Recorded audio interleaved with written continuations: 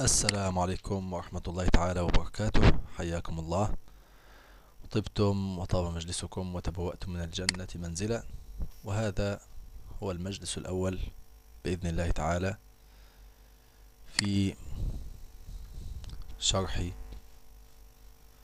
رسالة المسترشدين للإمام الحارس المحاسبي. إن شاء الله يكون شرحا موجزا أو تعليقا موجزا. مع القراءة السريعة بقدر الإمكان. آه، متوسطة السرعة حتى نستفيد من هذا الكلام الطيب لهذا الإمام الصوفي. آه، الجهبذ. والإمام المحاسبي رحمه الله كان معروفا بالزهد والورع والتقوى والإخلاص لله سبحانه وتعالى. وانتقد عليه البعض المبالغة والإيغال في الفكر ومحاربة الوساوس والهم وما أشبه ذلك. الإمام أحمد انتقده في بعض المسائل. وانتقد عليه موضوع في الاعتقاد بعض المسائل الاعتقادية آه، اللي هو نظام المذهب الأشعري الثاني لأن الإمام الأشعري مر بثلاث مراحل. المرحلة الأولى مرحلة الاعتزال مكث فيها أربعين سنة تقريبا. ثم المرحلة الثانية مذهبه التأويلي المشهور الذي أخذ به الكثير الآن. والمرحلة الثالثة هي مرحلة أهل السنة. عندما رجع إلى مذهب أهل السنة وكتب كتاب الإبانة. وهو مطبوع ومحقق ونسبته ثابتة, ثابتة له. نعم. فإذا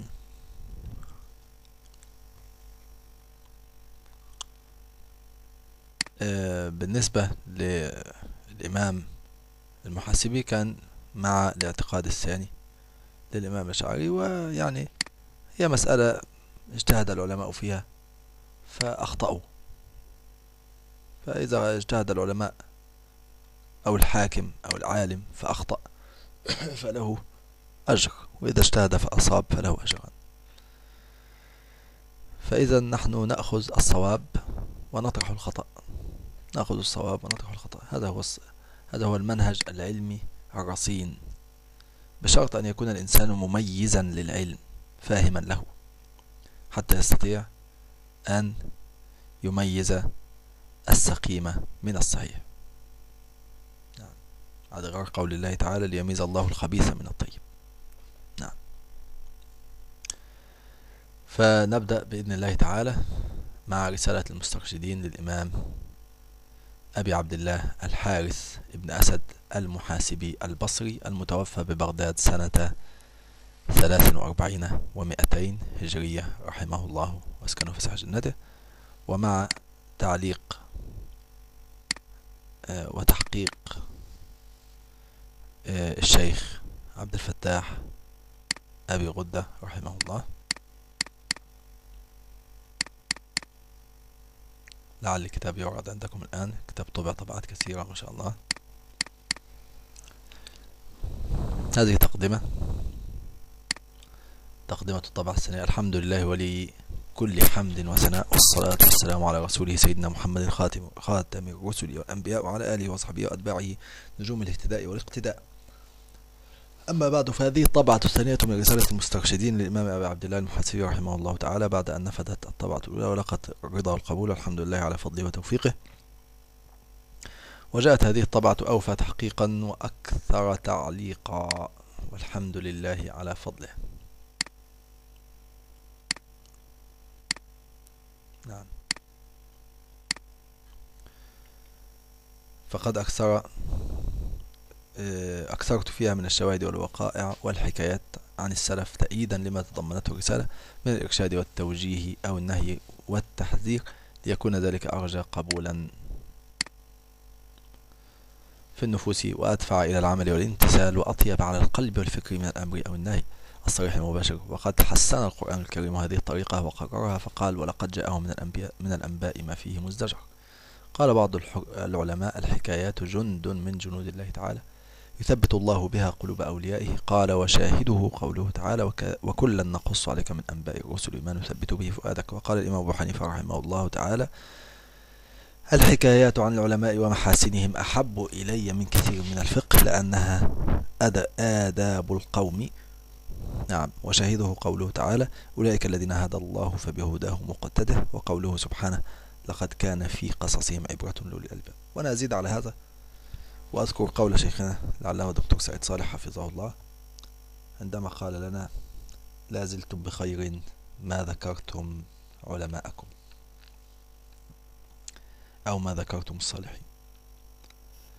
وقال سفيان بن عيينة رحمه الله تعالى عند ذكر الصالحين تنزل الرحمة. نعم. ومن أجل هذا التزمت غالبا عزو الأقوال والوقائع إلى أهلها استنزالا للرحمة بذكرهم كما التزمت غالبا إنشاء الترحم والترضي عليهم لكريم سيرهم سيرهم وطيب عطرهم. فقد قال الإمام أبو محمد التميمي يقبح بكم أن تستفيدوا منا ثم تذكرونا ولا تترحموا علينا. نعم. وقد كان كبار الأئمة من السلف إذا ذكر الصالحون في مجلسهم تأدبوا في هيئة جلوسهم رعاية لمقام الصالحين ولو كانوا غائبين فلا أقل من أن نترحم عليهم. نحن الخلف إن فاتنا التأدب عند ذكرهم. نعم. قال الإمام ابن مفلح الحنبلي في كتابه الفروع والحافظ ابن حجر في تهذيب التهذيب قال أبو زرع الرازي سمعت أحمد بن حنبل وذكر عنده إبراهيم بن طهمان وكان أحمد متكئا من علة يعني كان مريضا فاستوى جالسا وقال لا ينبغي أن يذكر الصالحون فنتكي. وذكر أبو الوفاء ابن عقيل في الفنون. أبو الوفاء هذا كان عالما جهبذا كبيرا. وهذا الكتاب من أكبر مصنفات الإسلام إن لم يكن أكبرها على الإطلاق كما ذكر الإمام الذهبي وغيره. ومنهم من رأى منه المجلد كذا ومئتين أو ثلاثمائة كتاب خمسمائة مجلد تقريبا.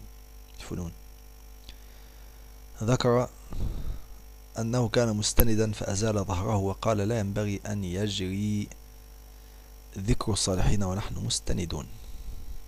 يعني الأدب قد جبلت القلوب على حب تقليد الصالحين والسير على منوالهم وعلى الرغبة في التأسي بهم والاقتداء بأفعالهم وأقوالهم. فلذا تراني أوردت في تعليقاتي من أقوال وقائع العلماء والصالحين والعابدين والمجاهدين والزهاد والصابرين ما يدفع بالمؤمن الموصول بإيمانه إلى أن يتأسى بهم ويتشبه بسيرتهم ويعمل بعلم بعملهم وأن يزداد قوة وشكيمة في دينه وجهاده وصبره وبلائه.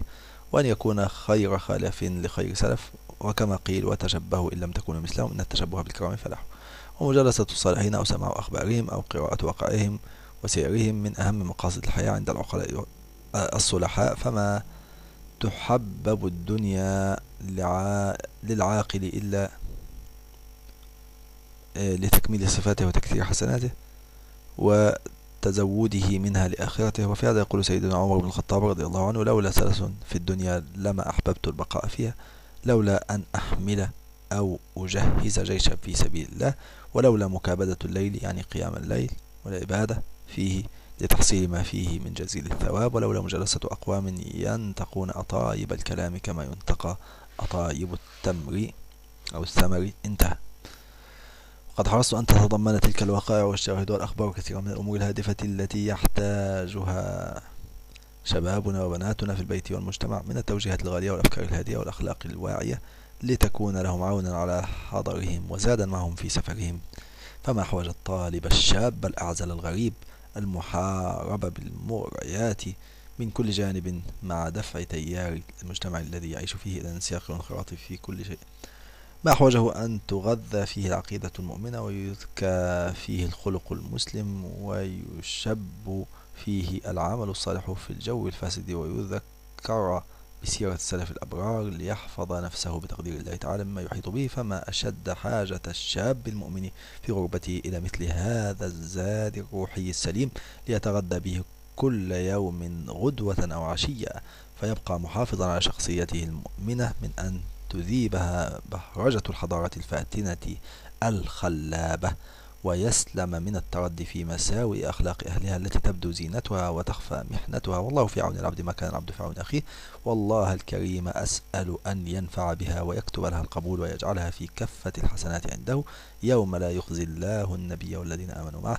نورهم يسعى بين أيديهم وبأيمانهم. يقولون ربنا أتمم لنا نورنا واغفر لنا إنك على كل شيء قدير. يوم ترى المؤمنين والمؤمنات يسعى نورهم بين أيديهم وبأيمانهم. بشراكم اليوم جنات تجري من تحت الأنهار خالدين فيها. ذلك هو الفوز العظيم. والحمد لله رب العالمين. وصلى اللهم وسلم وصلى الله على سيدنا محمد وآله وصحبه وسلم تسليما كثيرا. وكتبه عبد الفتاح أبو غدة غفر الله له ورحمه الله رحمة وسلم بعد ذلك في تقريز من الشيخ حسن حسنين محمد مخلوف مفتي الديار المصري السابق الأسبق رحمه الله. أثنى على هذا الكتاب. نعم.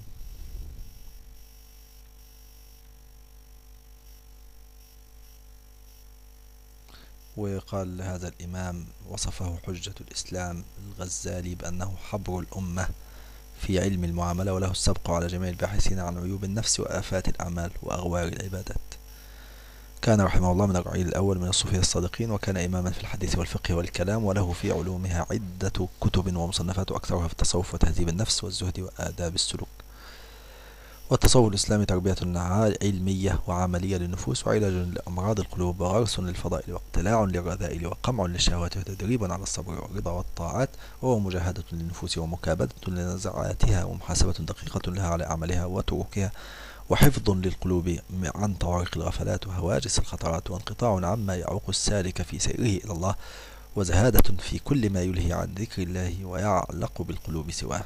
ومعرفة لله ويقين وتوحيد لله وتمجيد وتوجه وتوجه إلى الله وإقبال عليه وإعراض عما سواه وعكوف على عبادته وطاعته ووقوف عند حدوده وتعبد بشريعته وتعرض لنفحاته وهباته التي يخص بها أولياءه وأحبابه فضلا منه وكرما.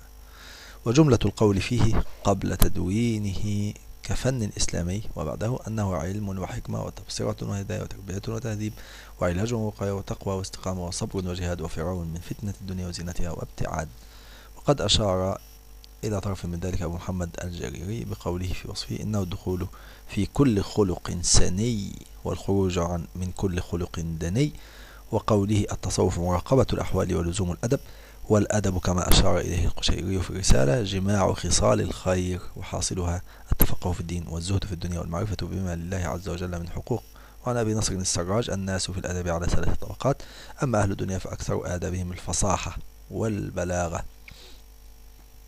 وحفظ العلوم والمنظوم. أما أهل الدين فأكثر آدابهم في رياضة النفوس وتأديب الجوارح وحفظ الحدود وترك الشهوات. وأما أهل الخصوصية يعني الصوفية فأكثر آدابهم في طهارة القلوب ومراعاة الأسرار والوفاء بالعهود التي بين العبد وربه وحفظ الوقت وقلة الالتفات إلى الخواطر وحسن الأدب في مواقف الطلب وأوقات الحضور ومقامات القرب. انتهى. فالتصوف كما ترى لب الشريعة وروحها وثمرتها وحكمتها. وقد قال سيد الطائفة الجنيد علمنا هذا مقيد بالكتاب والسنة ومن لم يحفظ القرآن ولم يكتب الحديث لا يقتدى به في هذا الأمر والطرق كلها مسدودة على الخلق إلا على من اقتفى أثر الرسول صلى الله عليه وسلم. هذا التصوف السني الصحيح. وقد اختص هذا النوع من العلم الشرعي في عصر التدوين كما أشار ابن خلدون في مقدمته باسم التصوف أو علم الحقيقة كما اختص النوع الآخر منه الخاص بالأحكام الفرعية في العبادات والمعاملات باسم الفقه أو علم الشريعة. وقال بعض الصوفية في بيان تربط هذين العلمين وتعاونهما في تكوين شخصية المسلم الكامل ظاهرا وباطنة حسا ومعنى مادة وروحا حقيقة بلا شريعة باطلة وشريعة بلا حقيقة عاطلة. فهما للمسلم كجناحي الطائر لا يستقل بأحدهما دون الآخر. ذلك هو التصوف النقي من الشوائب الذي لم يخالطه زيغ ولا شطط ولا جهل ولا ابتداع. وهو تصوف العلماء والنساك العارفين بالله القائمين على حدوده المتمسكين بشريعته أمثال أبي سعيد الحسن البصري المتوفى سنة عشر ومائة وأبي إسحاق إبراهيم بن أدهم البلخي المتوفى سنة ست عشرة ومائة وأبي سليمان داود بن نصير الطائي المتوفى سنة خمس وستين ومائة وأبي علي الفضيل بن عياض الخراساني المتوفى سنة بمكة سنة سبع وثمانين ومائة وأبي محفوظ المعروف بن فيروز الكرخي المتوفى ببغداد سنة إحدى ومائتين وأمثال أبي نصر بشر بن الحافي بن الحارث الحافي المروزي ثم البغدادي المتوفى سنة 27 و200 وأبي عبد الله الحارث بن أسد المحاسبي, المحاسبي البصري صاحب صاحب هذه الرسالة رسالة المسترشدين المتوفى سنة 43 و200 وأبي الفرد ذي النون المصري المتوفى سنة 45 و200 وأبي الحسن سري بن المغلس السقطي المتوفى سنة 57 و200 السري السقطي هذا كان خال خال الإمام مين؟ خال آه، أبي القاسم الجنيد. نعم.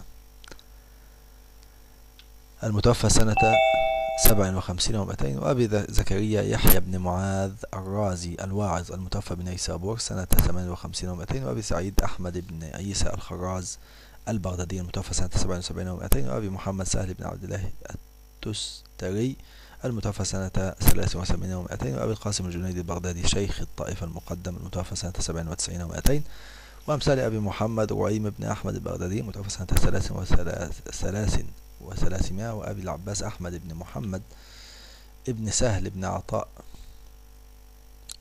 المتوفى. بن عطاء الله السكندري آه لا هذا بخلاف ابن عطاء الاسكندري هذا. وأبي العباس أحمد بن محمد بن سهل بن عطاء المتوفى سنة آه، تسعين وثلاثمائة. وأبي محمد أحمد بن محمد الجريري المتوفى سنة إحدى عشر وثلاثمائة. وأبي القاسم عبد الكريم بن هوازن القشيري صاحب الرسالة المشهورة رحمه الله متوفى سنة خمسة وستين وأربعمائة وحجة الإسلام أبي حامد محمد بن محمد الغزالي صاحب الإحياء المتوفى سنة خمسين وخمسمائة وأمثال أبي, أبي محمد عبد القادر الجيلاني المتوفى سنة إحدى وستين وخمسمائة وأبي حفص عمر بن محمد السهروردي صاحب عوارف المعارف المتوفى سنة سنتين وثلاثين وستمائة والإمام أبي الحسن الشاذلي علي بن محمد المتوفى سنة ستة وخمسين وستمائة وأبي العباس أحمد بن عمر المرسي المتوفى بالإسكندرية سنة ست وثمانية وستمائة وأبي الفضل أحمد بن محمد بن عطاء الله الإسكندري المتوفى سنة تسعين وسبعمائة والإمام ابن القيم المتوفى سنة واحد إحدى وخمسين وسبعمائة وأمثال السيد عبد الله بن علوي الحداد الحضرمي المتوفى بحضرموت سنة ثنتين وثلاثين ومائة وألف وشمس الدين الإمام محمد بن سالم الحفني المتوفى بمصر سنة 81 ومائة وألف وأبي بركات أحمد الدردير العدوي المالكي المتوفى بمصر سنة آه، إحدى ومائتين وألف وغيرهم ممن لا يحصيهم العد من المتقدمين والمتأخرين من أعلام أئمة التصوف العارفين في مختلف العصور رضي الله عنهم أجمعين. طبعا كل هؤلاء العلماء بشر يصيبون ويخطئون فخذ الصواب واترك الخطأ. خذ الصواب واترك الخطأ. آه، في بعض المشاكل ممكن يكون أخطأ في شيء ممكن يجتهد في شيء معين فأخطأ. خذ الصواب يا أخي واترك الخطأ. يعني ما تعملش إكس على الشخص كاملا. خذ منه خذ منه الصواب ولا ولا تغادر الشخص كاملا حتى تنتفع منه. وهذا هو الصواب. وهذا هو هذه الحكمة. ما دمت مميزا. تستطيع معرفة الصواب من الخطأ. وتقتبس من العلماء وتعرض الكلام على العلماء حتى تعرف الصواب من الخطأ. والحكمة ضالة المؤمن أن وجدها فهو حق الناس به ولهؤلاء الأئمة وأدرى بهم كلام جيد رصين وحكم شافية ومؤلفات قيمة في الأصول والفروع والأعمال النفسية وأحوال القلوب وخطرتها وأخطارها وعلاجها وفي الآداب والأذواق والمواجد والأحوال النفسية والمجاهدات على تشدد. شوف شوف التنبيه. يا سلام. الشيخ حسن المخلوف على تشدد من بعضهم في السلوك وتفاوت حسب تفاوت أقدارهم في العلم والذوق والعرفان. وجميعهم إنما يصدرون في ذلك عن كتاب الله وهدي النبوة وما روي عن العارفين من أئمة الإسلام من أقوال وأعمال وأحوال. هذا هو التصوف الصادق الذي ملأ سمع الدنيا وأعينها قبل عصر التدوين وبعده هؤلاء وأمثالهم الصوفية حقا الصادقون قولا وفعلا ومنهم المحاسبي رضي الله عنه. التصوف المنتحل. وهناك تصوف زائف انتحله قديما فئام من الناس أشربوا تعليم الباطنية الحلولية وتدثروا بدسار الصوفية اجتذابا للعامة وتغرير وتغريرا وخداعا وتلبيسا. ودسوا في التصوف إلحادهم ومقالاتهم الشنيعة في الدين إضلالا للمسلمين. هؤلاء, هؤلاء ليسوا من الصوفية ولا التصوف في شيء وينكرهم كل الإنكار أولئك الأعلام الذين ذكرناهم وأضرابهم ويحسبونهم أدعياء في نسبة في نسبه مزورين وزنادقة ملحدين. وقد كشف خيب خبئهم وفند مزاعمهم وأبطل تصوفهم كثير من الأئمة ومنهم شيخ الإسلام ابن تيمية والإمام ابن القيم رضي الله عنهما. وهناك آخرون انتسبوا إلى الصوفية زورا واتخذوها. سمة وحرفة وتوارثوا فيما بينهم بدعا وشعارات زائفة وتقاليدا منكرة يبرأ منها التصوف وأعلامه من أولي العلم واليقين وهؤلاء كذلك أدعياء في التصوف دخلاء في الصوفية مبتدعون آثمون وإحقاقا للحق وإنصافا للصادقين يجب ألا يحملوا أوزار ألا يحملوا أوزار أولئك الأدعياء المبطلين وألا يطلق القول في ذم التصوف والصوفية بل يعطى كل فريق حقه من المدح أو الذم ومن الترغيب أو التحذير دون تعصب أو تحيف. وإنما أفضنا في هذا البيان ليتعرف القارئ أن الإمام المحاسبي صاحب الرسالة وأمثاله من الصوفية إنما هم من أولئك الصوفية الصادقين في نجيم وأقوالهم وعلومهم. وفي رسالة المحاسبي دليل على ما ذكرنا وفيها تربية للنفوس وتهذيب للطباع وعلم صحيح لمن يطالعونها بدقة وعناية مع تعليقات الأستاذ المحقق الذي له الفضل في نشر هذا التراث العظيم وشرحه. نفع الله بهما وأجزل مثوبتهما. آمين. كتبه حسنين حسنين محمد مخلوف مفتي الديار المصرية السابق. نقول الآن الأسبق وعضو جماعة كبار العلماء رحمه الله. رحمة واسعة بعد ذلك في تقدمة للطبعة الأولى. لا داعي لذكرها. قد تطالعونها وتقرؤونها إن شاء الله.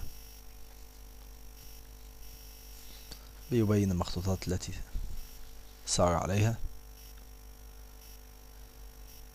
وأنه علق على هذا الكتاب. ترجمة المؤلف هو أبو عبد الله الحارث بن أسد المحاسبي البصري. المولد البغدادي المنزل والوفاة. الإمام العارف الناطق بالحكمة عديم النظير في زمنه ورعا وعلما ومعاملة وحالا أحد زهاد المتكلمين في العبادة والزهد والمواعظ وعرف المحاسبي لكثرة محاسبته لنفسه. يا سلام. عرف بالمحاسبي لكثرة محاسبته لنفسه. ولم يعرف تاريخ ولادته وكانت وفاته ببغداد سنة 43 ومائتين رحمه الله تعالى. روى الحديث عن يزيد بن هارون وطبقته وأخذ عن الإمام الشافعي كما ذكره أبو منصور البغدادي في أصول الدين.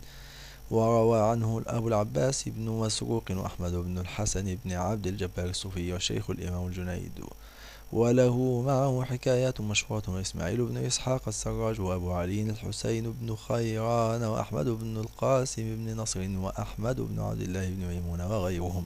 كان رحمه الله تعالى ناسكا عابدا وصوفيا زاهدا وفقيا ومتكلما وأيضا مبكيا ومحدثا راويا. أوتي فصاحة لسان وبراعة بيان ونصاعة جنان. أي قلب. حتى إذا حدثك عن شيء ترغيبا أو ترهيبا جعلك كأنك ترى رأي العين وتحس به إحساسا مباشر له ولا ينفصم عنك حديثه إلا وقد أقنعك بالحجة. وألبسك اليقين بما يقول وما يقول أبو عبد الله إلا خيرا ونصحا. تشهده فيما يكتب مستوفيا الخطرات والخلجات وقائما بالنداعة قيام صدق ويقين ومشاهدة. وكثيرا ما أبكاك فيما ناجاك.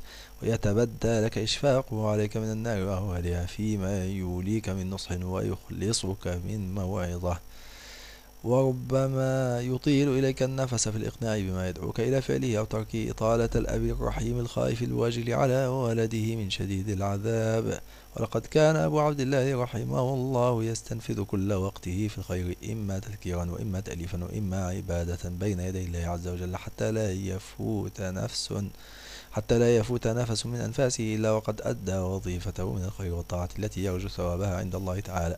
ولذلك كثرت تصانيفه وكتبه. نقل الشيخ تاج الدين بن السبكي في ترجمته في طبقات الشافعية الكبرى عن بعضهم أنها تبلغ مئتي مصنف وأغلبها في الزهد والسلوك والتصوف وكثير منها في أصول الدين والرد على المعتزلة والرافضة والقدرية وغيرهم من المخالفين وبعضها في الفقه والأحكام وكتبه على كثرتها كثيرة الفوائد جمة المنافع وخاصة كتبه في علوم التصوف وتزكية النفس والروح تعد وصولا لكل من صنف فيها بعده. حتى الإمام حتى الإمام أبي حامد الغزالي رضي الله عنه. قال شيخنا الإمام محمد محمد زاهد الكوثري رحمه الله تعالى.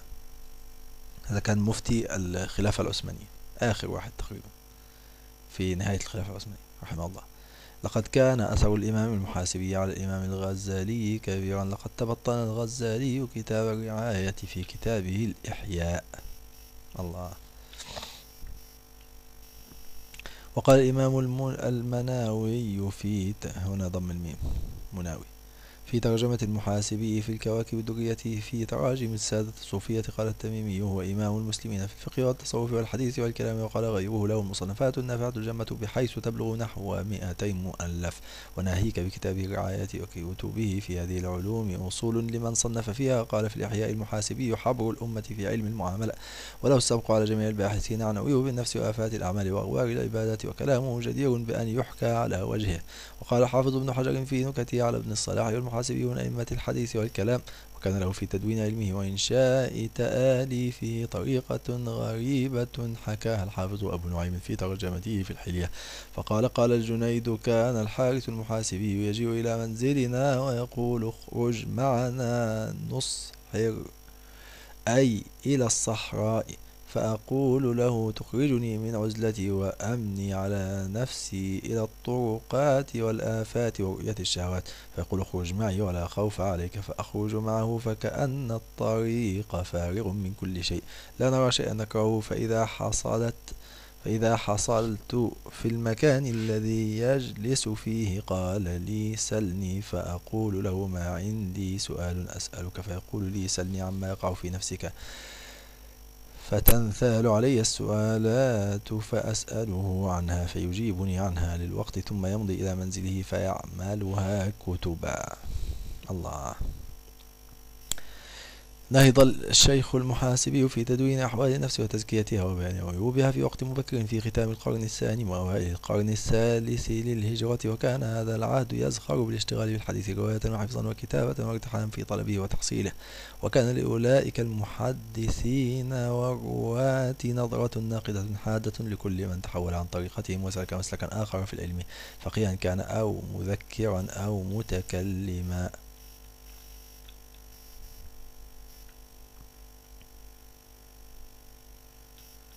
ولهذا لقي الشيخ أبو عبد الله المحاسبي انتقادا شديدا من معاصريه الرواة والمحدثين الذين يرون العلم كل العلم رواية الحديث سندا ومتنا لا بحثا وفقاء ويرون إعمال الرأي في فهم الأثر خروجا عليه فإذا بلغهم عن عالم أنه تكلم في مسألة باحثا مجتهدا أو متكلم أو متكلما قال في صفة من صفات الله قولا أو مذكر أو متكلم قال في صفة من صفات الله قولا أو مذكر تحدث عن حال النفس كاشفا منقبا ثارت لذلك حفيظتهم ونقموا عليه ما صنع. وقالوا فيه ما يرونه ملاقيا للجارح الذي اتصف به في نظرهم وفي كتب الجرح والتعديل وقائع غير قليلة من هذا النمط. ولذا قال الحافظ الذهبي في ترجمة المحاسبي في ميزان الاعتدال والمحاسبي العارف صاحب التواليف صدوق في نفسه وقد نقموا عليه بعض تصوفه وتصانيفه. انتهى. فالغرابة أن نجد الحافظ أبا زرعة الرازي رحمه الله تعالى ينتقد الشيخ المحاسبي وكتبه وطريقته أشد انتقاد تمشيا منه مع بيئته الحديثية التي يحيا وتموج وتموج من حوله موجا روى الخطيب البغدادي في تاريخ بغداد بسنته إلى سعيد بن عمرو البرذعي قال شهدت أبا زرعة وقد سئل عن حارث محاسبه وكتبه فقال للسائل إياك وهذه الكتب هذه كتب بدع وضلالات عليك بالأثر فإنك تجد فيه ما يغنيك عن كل عن هذه الكتب. قيل له قيل له في هذه الكتب عبرة. قال من لم يكن له في كتاب الله عبرة فليس له في هذه الكتب عبرة بلغكم أن مالك بن أنس وسفيان الثوري والأوزاعي والأئمة المتقدمين صنفوا هذه الكتب في الخطرات والوساوس وهذه الأشياء.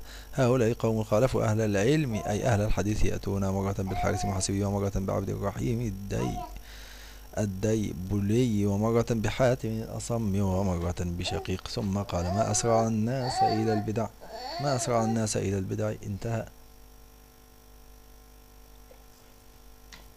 ويعلل الحافظ ابن رجب الحنبلي نهي أبي زرعة وأحمد وغيرهما عن مسلك الحارث المحاسبي تعليلا آخر. غير الذي أسلفته فيقول رحمه الله تعالى في كتابه جامع العلوم والحكم عند حديث استفت قلبك وإن أفتاك المفتون وإنما ذم أحمد وغيره المتكلمين على الوساوس. على الوساوس.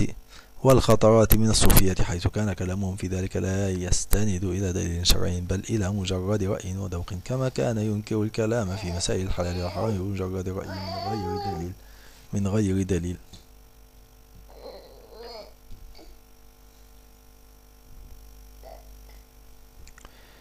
من غير دليل آه، كما كان ينكر الكلام في مسائل الح... في مسائل الحلال والحرام بمجرد رأي من غير دليل شرعي. انتهى. وقال حافظ ابن رجب في المناقب ومن البدع التي أنكرها أحمد في القرآن قول من قال إن الله تكلم بغير صوت فأنكر هذا القول وبدع قائله وقد قيل إن الحارث المحاسبي إنما هجره أحمد لأجل ذلك انتهى. قال أبو العباس ابن تيمية وهذا سبب تحذير أحمد من الحارث المحاسبي فذكروا أن الحارث المحاسبي تاب من ذلك واشتهر علما وفضلا وحقائق وزهدا. انتهى من كتاب شرح الكوكب المنير في أصول الفقه الحنبلي تقي الدين الفتوحي من ضميمته المتممة له. قال عبد الفتاح يعني أبو غدة وهذا يفيد أن انتقاد الإمام المحا أحمد المحا انتقاد أن انتقاد الإمام أحمد للمحاسبين إنما كان بسبب دخوله في مسائل من في مسائل من علم الكلام فحسب ويشهد لذلك ويعززه ما قاله الخطيب. لا يظهر عندكم الصوت؟ سبحان الله كان الصوت مغلقا. نعم.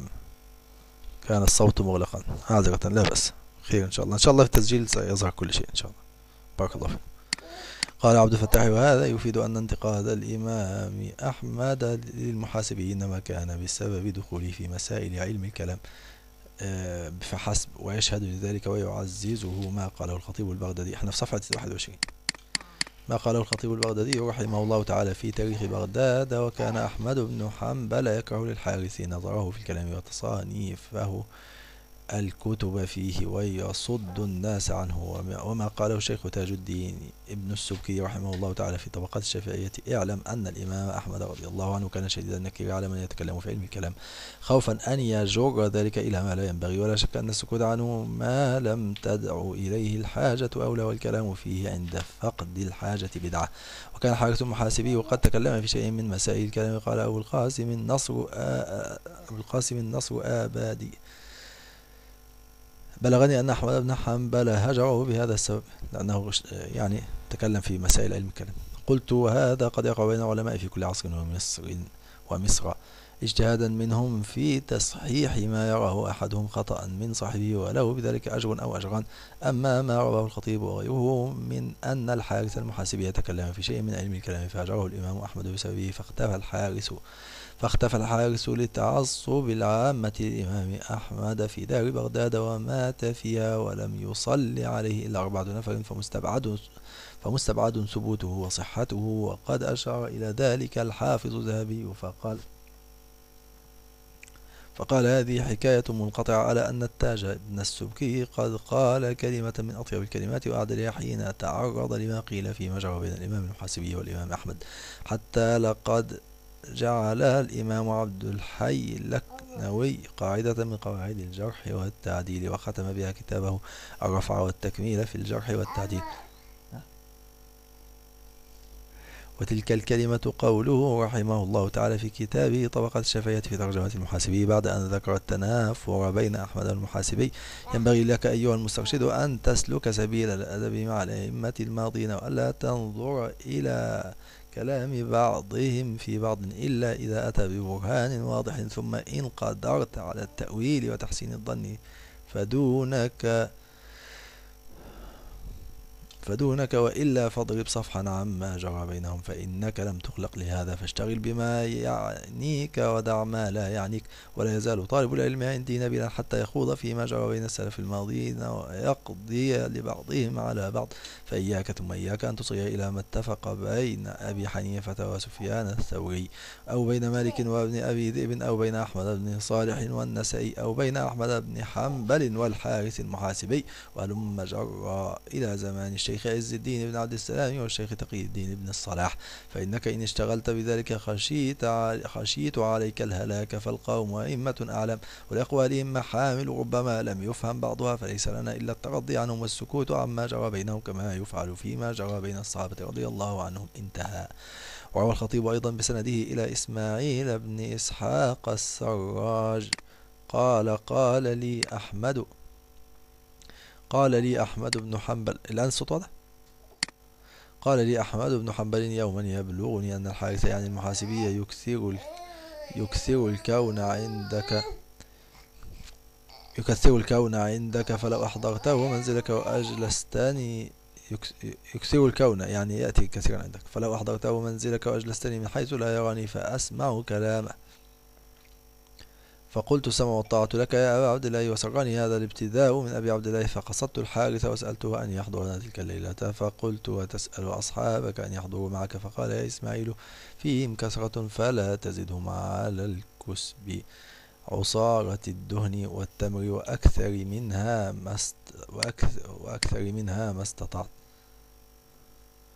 ففعلت ما أمرني به وانصرفت إلى عبد الله فأخبرته فحضر بعد المغرب وصعد غرفة في الدار فاجتهد في ورده إلى أن فرغ. وحضر الحارس وأصحابه فأكلوا ثم قاموا لصلاة العتمة العشاء ولم يصلوا بعدها.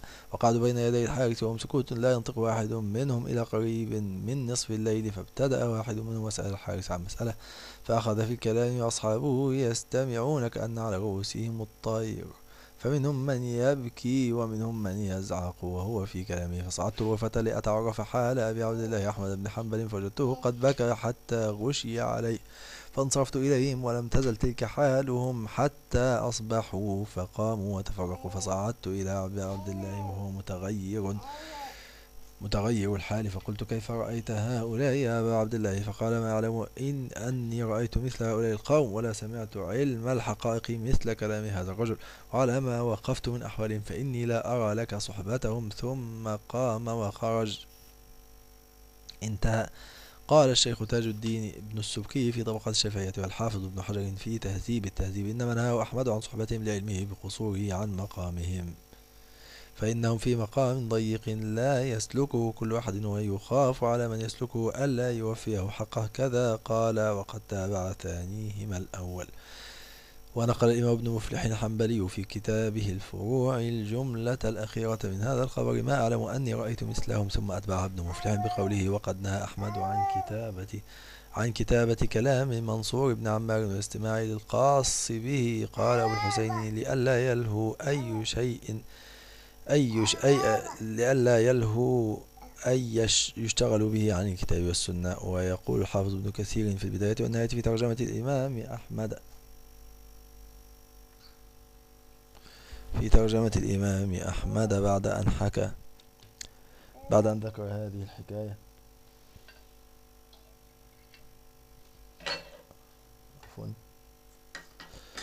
بعد أن ذكرت هذه الحكاية قال البهقي يحتمل أن أحمد كره له صحبتهم لأن الحارث بن أسد وإن كان زاهدا فإنه كان عنده شيء من علم الكلام وكان أحمد يكره ذلك.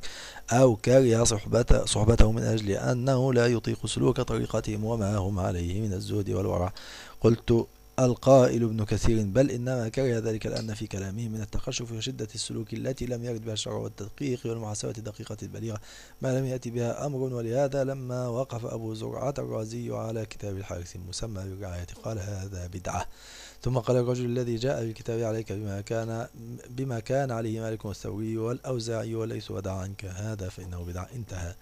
قال عبد الفتاح والذي أراه أن الإمام أحمد رحمه الله تعالى إنما نهى عن صحبتهم مع أنه رآهم على خير لأنه يرى سلوك طريقته التي هو عليها وأصحابه أمثل خيرا.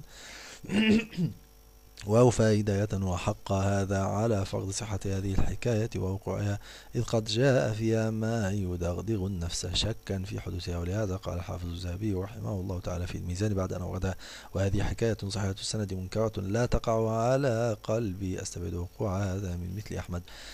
وقد تبين لك من كلام الذي الذين أسلفت كلامهم. هم الأئمة ابن تيمية وابن رجب والخطيب البغدادي والتاج السبكي وابن والتاج السبكي وابن كثير. أن نقد الإمام أحمد للمحاسبي إنما كان على الصحيح من أجل تكلمه في مسائل من علم الكلام فقط وأما مسلكه العبادي فلا شيء فيه بل قد أثنى عليه فيه الشيخ ابن تيمية وغيره من الأئمة رحمهم الله تعالى. وعلى كل حال صحت الحكاية أو لم تصح إنها تصور الروح التي تسود نفوس أئمة ذلك العصر على من سلك مسلك المحاسبي رحمه الله تعالى وإيانا.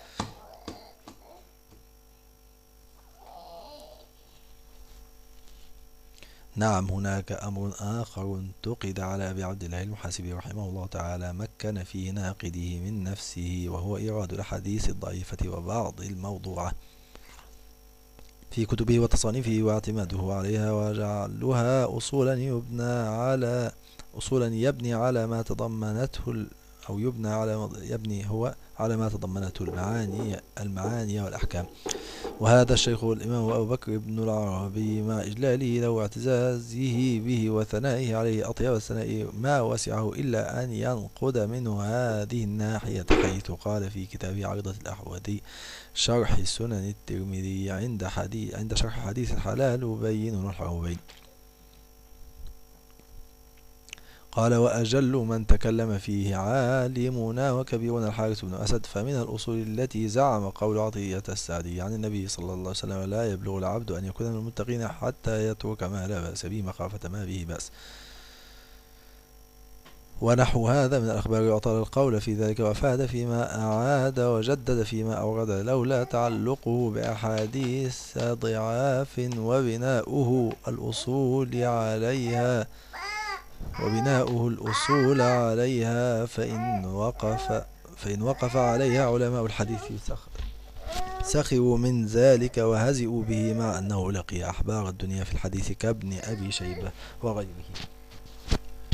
والذي عندي في ذلك والذي عندي في ذلك والله أعلم. ما رويناه عن أحمد بن حنبل. يستجيز لين الحديث في أمر الوراء ورضي الله عن البخاري.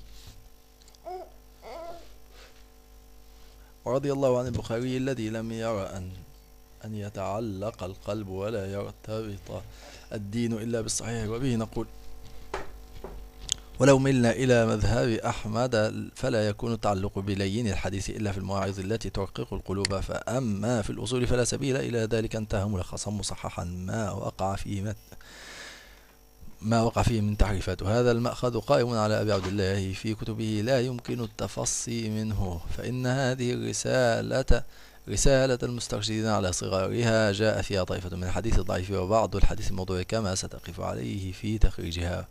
وقد سرى تساهله هذا إلى الشيخ أبي طالب المكي في قوة القلوب وإلى الإمام أبي حامد الغزالي في الإحياء وإلى سواهما ممن ألف في تصوف أحوال النفس. وأما ما يورده من إسرائيليات فأغلبه مما لم نؤمر بتصديقه ولا بتكذيبه وتجوز حكايته للعبرة والاتعاظ به. هذا الشيخ أبي عبد الله المحاسبي رحمه الله تعالى. نهج حسن طيب وهو أن تصوفه وهو أن تصوفه. الذي دونه في كتبه راعى فيه ما جاء في كتاب السنة وأقوال الصحابة وأعمالهم بحسب علمه وفهمه. وما نجد في كتبه فيما وقفت عليه شطحات أو شيئا من التصوف الفلسفي. إنما يقوم تصوفه رحمه الله تعالى على الدعوة إلى تصحيح العلم والعمل ومراقبة الله تعالى وتزكية النفس وتطهيرها من الأدران وتقريبها رضوان من رضوان الله عز وجل. وبتعبير آخر لم أرى المحاسبية. نعم وبتعبير آخر لم أرى المحاسبية. نعم. وبتعبير آخر لم أرى المحاسبية.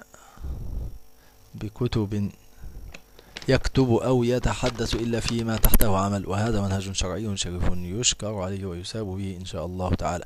أما بيان أبي عبد الله المحاسبي فهو من الطراز الأول فصاحة وسلاسة وجمال أداء وحسن استيفاء له قلم سيال وبيان أخاد ولغة ناظرة في الذروة من الفصاحة والإشراق. وله في كتابه هذا وفي كتابه وفي كتابه التوهم والرعاية. جمل وقطع من الكلام ما يشبع من من تردادها وسماعها لما حوت من دقة التصوير وجزالة اللفظ وأخذ القلب بمعناها والسمع بمبناها ولا غرابة في ذلك فقد كان أبو عبد الله في العصر الذهبي عاصر عاصر الجاحظ وطبقته من فصحاء العربية وأدبائها كما عاصر معروفا الكرخي والسري السقطي وبشر الحافي من زهاد الأمة وصلحائها فلا بدع أن يكون صاحب قلم وبيان وروح وجان رحمه رحمة الله عليه.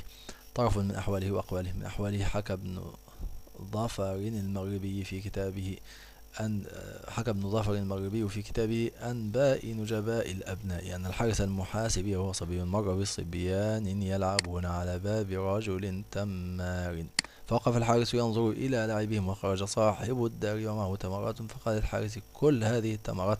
قال الحارس ما خبرك فيها؟ قال إني بعت الساعة تمرا من رجل فسقطت من فسق فسقطت من تمره فقال أتعرفه؟ قال نعم.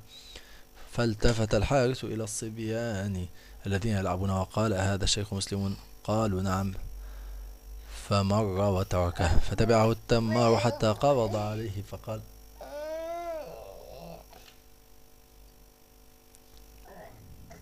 فقال والله ما تنفلت ما تنفلت من يدي. نعم.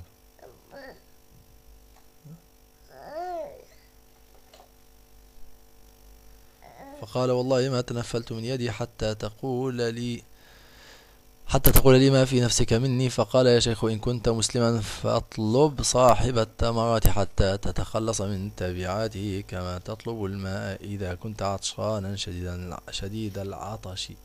يا شيخ تطعم أولاد المسلمين السحت أي الحرام وأنت مسلم؟ فقال الشيخ والله لاتجرت للدنيا أبدا.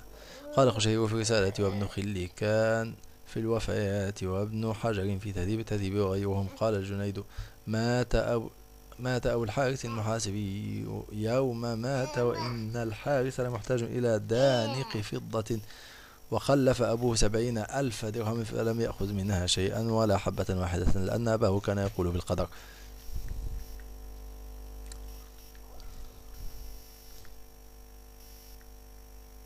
فرأى من الورع ألا يأخذ من ميراثه شيئا. حكى كل من الحافظ أبي نعيم والخطيب البغداد والخطيب والخطيب البغدادي والشيخ القشيري وتاج بن السبكي وغيرهم أن الشيخ الجنيد وهو تلميذ الحارث المحاسبي قال كان الحارث كثير الضر سيء الحال.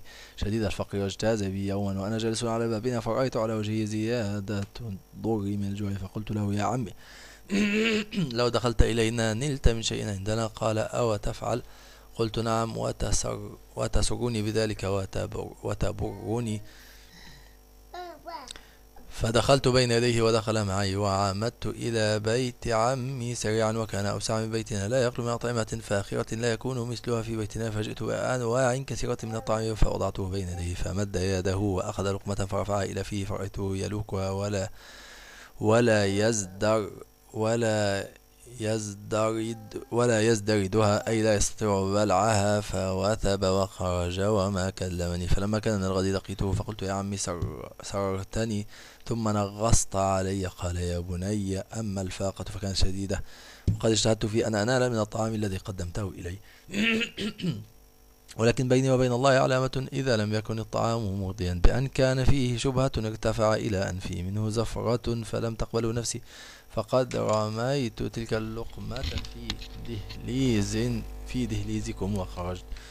زاد الخشير ثم قلت له تدخل اليوم؟ فقال نعم. فقدمت إليه كسرا يابسة كانت لنا فأكل وقال إذا قدمت إلى فقير شيئا فقدم إليه مثل هذا.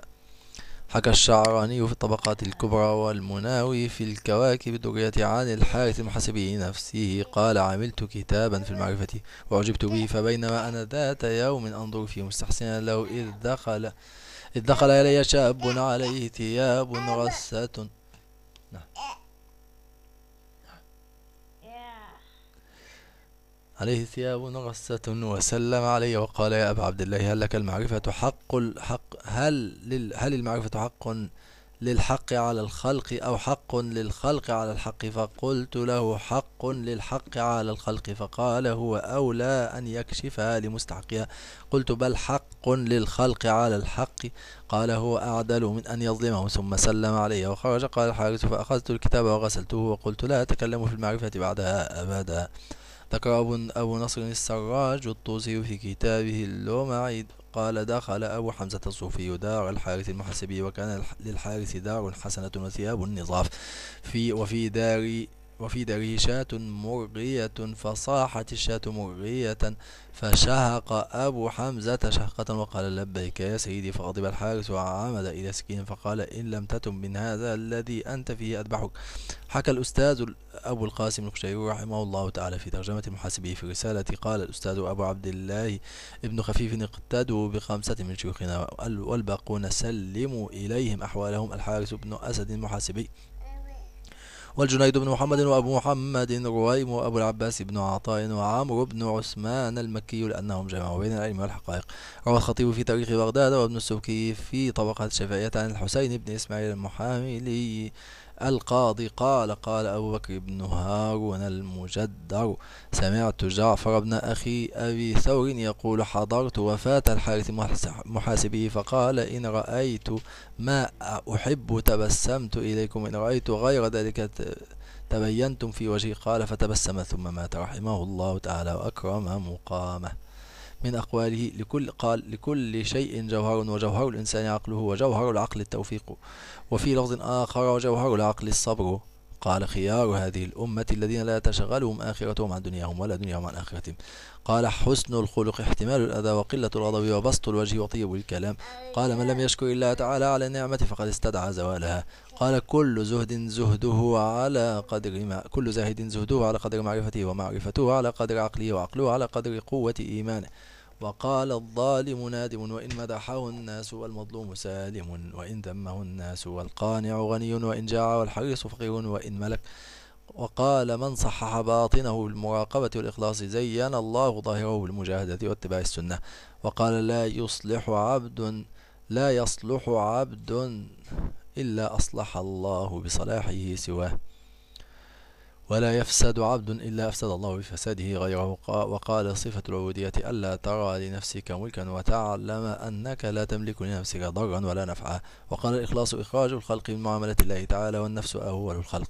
وقال من اجتهد في باطنه ورثه الله حسن معاملة ظاهره ومن حسن معاملته في ظاهره مع جهد باطنه ورثه الله الهداية إليه لقوله تعالى والذين جاهدوا فينا لنهدينهم سبلنا وإن الله لمع المحسنين.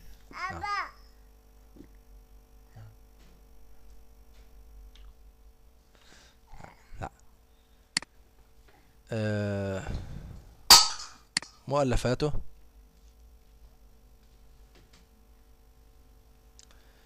آه، إن شاء الله نتوقف عند مؤلفات الإمام. نشوف هنا المؤلفات كم ربما تنتهي بها المقدمة. خلاص اذا إن شاء الله نأخذ أيضا مؤلفات سريعا. مؤلفات الإمام المحاسبي مؤلفات كثيرة كما سبقت معذرة يا أستاذ نور. إن شاء الله نأخذ مؤلفات ثم نشرها إن شاء الله. مؤلفات الإمام المحاسبي مؤلفات كثيرة كما سبقت الإشارة إليها في آه، الصفحة السابعة السابعة عشرة والثامنة عشرة والذي عرف اسمه أو وجوده منها حتى الآن ما يلي. رعاية لحقوق الله عز وجل طبع في أوروبا ثم بمصر دون تاريخ التوهم طبع بمصر سنة 57 و 300 ألف ثم بحلب, بحلب من نحو ست سنتين. رسالة مسترشدين وهي التي بين يديك تطبع للمرة الثانية وقد ترجم ترجمها عن طبعتها الأولى إلى اللغة التركية الأستاذ علي أرسلان الواعظ العام في دائرة الإفتاء في إسطنبول. وطبعت هناك من سنوات قريبة. رسالة الوصايا آداب النفوس شرح المعرفة بدء بدء من أناب إلى الله. تعالى المسائل في الزهد وغيره. المسائل في عمل القلوب والجوارح المكاسب والورع والشبهة وبيان مباحها ومحظورها واختلاف الناس في طلبها والرد على الغالطين فيها ماهية العقل ومعناه واختلاف الناس فيه. وهذه ثمانية طبعت بالقاهرة حديثا سنة 69 و900 وألف ميلادية وما قبلها بقليل. البعث والنشور كتاب في الدماء كتاب في التفكر والاعتبار رسالة المراقبة التنبيه على أعمال القلوب في الدلالة على وحدانية الله. كتاب العظماء القصد والرجوع إلى الله تعالى. كتاب النصائح مختصر كتاب فهم الصلاة. كتاب الرضا ذكر المحاسبي في المسائل في أعمال القلوب. فهم القرآن نقل منه الشيخ ابن تيمية كما في مجموع الفتاوى. فهم السنن نقل منه السيوطي في الإتقان في النوع الثامن عشر. رحم الله المحاسبي وغفر له وأكرمه برضوانه الكريم. آمين. وإيانا أجمعين. والأصل في الدعاء طبعا أن ندعو لأنفسنا ثم ندعو الآخرين. غفر الله لنا وله ورحمنا الله ورحمه وأسكننا جميعا الفردوس الأعلى مع الحبيب صلى الله عليه وسلم. بارك الله فيكم ونفع الله بكم. إن شاء الله نلتقي على الخير في مجلسنا القادم غدا ومع أول كتاب رسالة المسترشدين للإمام الحارث المحاسبي. غفر الله لنا وعملنا بالحسنى ورحم إمامنا المحاسبي. وصلى الله وسلم وبارك سيدنا محمد وعلى آله وصحبه أجمعين. والسلام عليكم ورحمة الله تعالى وبركاته.